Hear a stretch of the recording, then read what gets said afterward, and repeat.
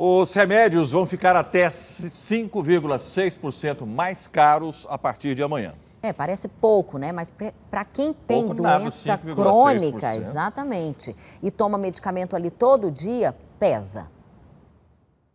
Na farmácia do João, a intenção é segurar os preços ainda por algum tempo. De forma estratégia, a gente segura ao máximo que é possível, né? não tem um tempo limitado, porque é muito mais referente à aquisição de novos estoques. Né?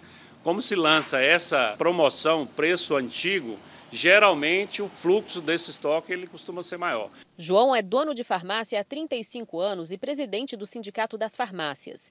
Ele explica que em momentos de alta de preço é preciso lançar mão de ofertas e promoções para não espantar o cliente. A gente acaba é, fazendo algum incentivo para que melhor fique no bolso do consumidor. O aumento de até 5,6% no preço de medicamentos passa a valer já a partir deste sábado.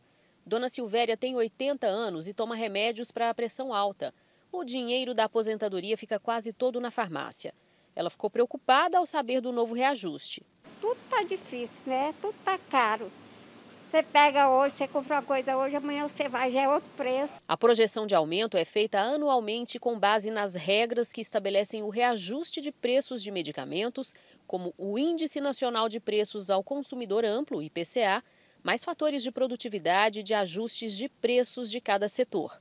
Dados de uma recente pesquisa mostram que o setor da saúde movimentou no ano passado em todo o Brasil 386 bilhões de reais.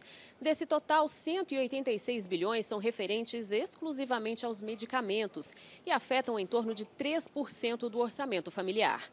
Ainda de acordo com a mesma pesquisa, de 2021 para 2022, houve um aumento de 22% nas despesas com os remédios. Isso em virtude, sobretudo, do envelhecimento da nossa população. Os dados são da pesquisa IPC Maps, especializada em potencial de consumo dos brasileiros. Agora, em 2022, mesmo sem a divulgação oficial do censo, nós temos números que nos permitem afirmar que a população com 50 anos e mais subiu para 26,5%.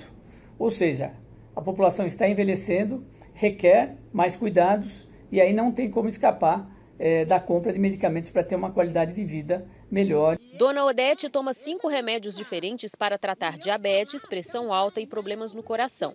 São todos muito caros. Para ela, uma situação cada dia mais difícil. O meu salário que eu ganho já é comprometido como os outros para comprar os remédios. Agora, que esse aumento que vai ter agora, eu não sei nem como é que vai ser.